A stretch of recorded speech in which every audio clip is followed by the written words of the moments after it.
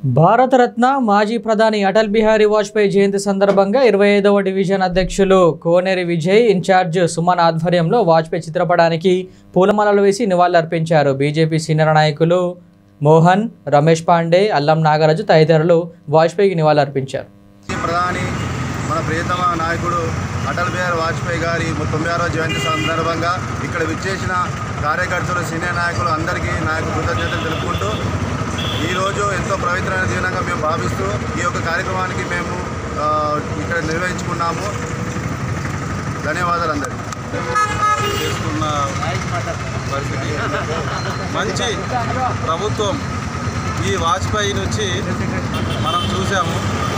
భారతీయ జనతా పార్టీలో మొదటి నుంచి ఎందరో త్యాగాలు చేసిన వీరులు ఉన్నారు. ఇవాళ మోడీ గారు ఉన్నారు. చాలామంది. బండి సంజయ్ గారు కూడా వారి పనికి చాలామంది ప్రశంసనీయంగా చూస్తున్నారు. ఇవాళ భారతీయ జనతా పార్టీ తెలంగాణలో కూడా రాబోయే కాలంలో ఇక్కడ భారతీయ జనతా పార్టీ ప్రభుత్వం చూస్తున్నారు చూస్తారు. నాయకులు రాష్ట్ర నాయకులైనటువంటి ఆకార మోహన్ గారి ఆధ్వర్యంలో అదేవిధంగా మరి పెద్దలు అందరి ఆధ్వర్యంలో ఈరోజు ముఖ్య దినము.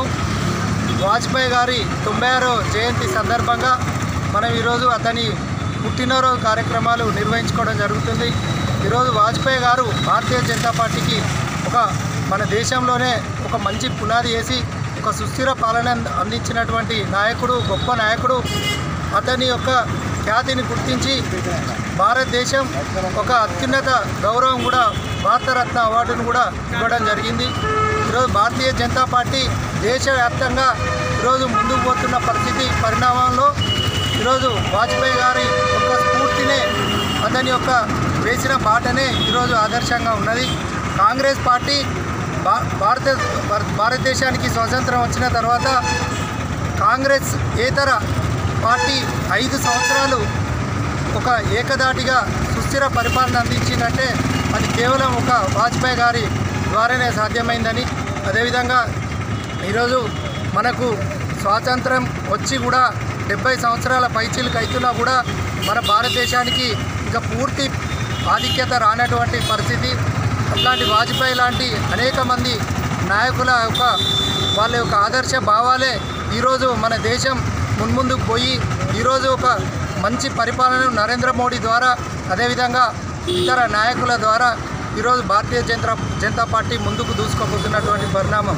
అదేవిధంగా ఇంతకుముందు పెద్దలు గౌరవనీయులు ఆకార మోహన్ గారు చెప్పినట్టు మనం వరంగల్ జిల్లాలో మనం మున్సిపాలిటీలో మేయర్ స్థానాన్ని కూడా ఇంతకుముందు మనం మేయర్ పీఠాన్ని కూడా అధిరోహించి ఒక మంచి పరిపాలన అందించినటువంటి పరిస్థితులలో ఇప్పుడు రానున్న వరంగల్ మున్సిపాలిటీ ఎన్నికలలో కూడా భారతీయ జనతా పార్టీ భారీ మెజార్టీతోటి మున్సిపాలిటీ పీఠాన్ని మేయర్ పీఠాన్ని మనం దక్కించుకునే దిశగా ముందుకు పోతున్నటువంటి తరుణం ముందుకు పోతుందని కూడా ఆశాభావం వ్యక్తం చేస్తూ దానికి దిశలో కార్యకర్తలు నాయకులు అందరూ కూడా డివిజన్ స్థాయిలో బూత్ స్థాయిలలో పటిష్టమవుతున్నటువంటి పరిస్థితి.